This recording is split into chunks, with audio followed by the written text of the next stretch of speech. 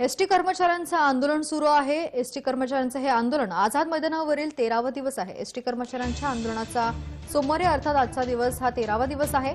म्हणूनच एसटी कर्मचाऱ्यांनी सरकारचं तेरावा घातलंय. आमची एक मागणी सरकार पूर्ण करू शकत नाहीये. गेले तेरा दिवस आम्ही या ठिकाणी आहोत. जोपर्यंत आमची मागणी पूर्ण होत नाही तोपर्यंत आम्ही येथून जाणार नाही अशी भूमिका कर्मचाऱ्यांनी घेतली आहे.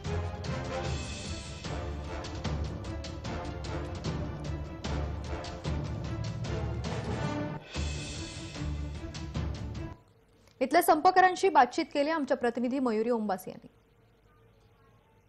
खरं तर अनेक दिवसांपासून एस टी कर्मचाऱ्यांचं आंदोलन या आझाद मैदानात सुरू आहे. आज सरकारला जाग यावी या कारणाने सरकारचं तेरावं इथे घालण्यात आलेलं आहे. तेरावं घालून तरी सरकार जागा होईल का अशी आंदोलकांची भूमिका आहे. आडमुठेपणाची कुठेतरी सरकार भूमिका घेते आणि एस टी संपावर कुठेही तोडगा काढला जात नाहीये. अजूनही एस टी संपकरी आझाद मैदानात संप आंदोलन करतायत. आपण थेट जाणून घेऊया यांच्याकडून की का अशी वेळ का आली सरकार?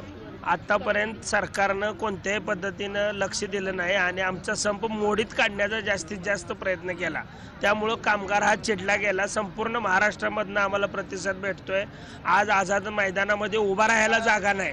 इतकी लोक गोळा झालेले आहेत आणि शासनानं पूर्णपणे म्हणजे बाकीचे सरकारी राज्य कर्मचारी आहेत त्यांच्या एवढं पेमेंट न दिल्यामुळं आज आमच्या पंचेचाळीस भावाने आत्महत्या केली. नक्कीच कुठेतरी संपकरी त्रासलेला आहे. आम्हाला शासनात विलनीकरण हवंय हीच त्यांची मागणी. आणि जरी सरकारने शासनी विलनीकरण केलं नाही तर आम्ही या आंदोलनातून माघार घेणार नाही अशी त्यांनी भूमिका केलेली आहे. कॅमेरामॅन नित्यानंदसह मी मयुरी ओंबासे जय महाराष्ट्र.